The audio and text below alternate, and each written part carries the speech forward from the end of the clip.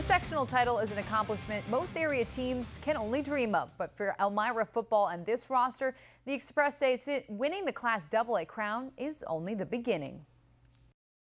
We're, we're, we're still hungry. We, we want to come out here and, and uh, you know, have a great week of practice, so we're prepared on Saturday.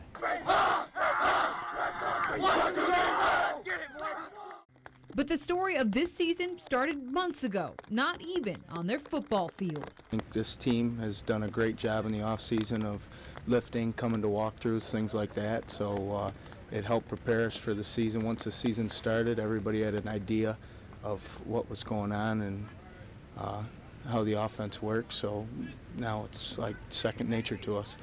Those instincts apparent in Elmira's shootout win in the sectional finals. The Express tallied 610 total offensive yards, all through their notorious run game. We pride ourselves on, on being able to uh, kind of uh, own the own the line of scrimmage, uh, and, and, we, we do we try to do that on on both sides of the ball. And you know, hats off to the guys up front. I mean, those offensive line and defensive linemen, uh, you know, they do a great job of you know in the trenches getting the, getting the job done. Might not draw as much attention as Elmira's backfield, but this entire team knows everyone has a role.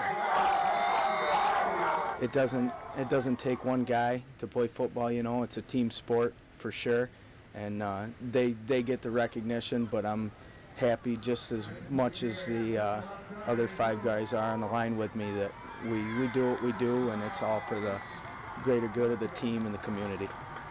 Now, as Elmira moves on to New York's quarterfinals, the Express with an advantage comes Saturday. Just two years ago, Elmira played and pulled off an upset on the very same stage. Having that experience definitely helps because you don't have the butterflies that come with the first ride and all that. So definitely helps and that confidence it comes with how productive our offense has been which comes with all the hard work that we put on the field every day so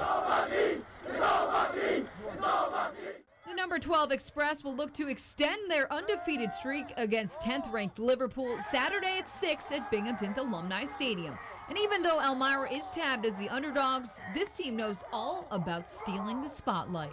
Can't wait to see what we do on Saturday because these 44, 45 guys behind me, we're all out here to work.